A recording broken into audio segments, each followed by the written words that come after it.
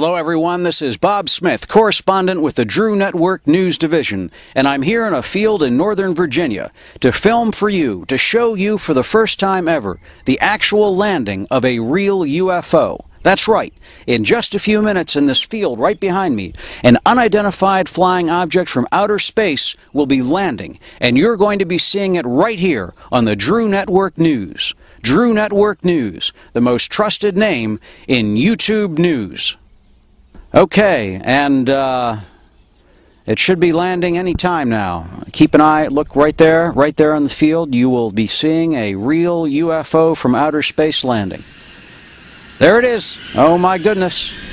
There you go, ladies and gentlemen, the actual sight of an unidentified flying object from outer space landing right here on planet Earth. Only on the Drew Network.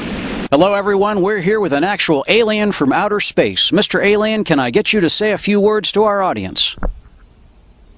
Hi, everybody. I'm the alien, and I'm here to tell you to buy subscription to Drew Network. And there you have it, ladies and gentlemen, only on the Drew Network, the most trusted name in news on YouTube.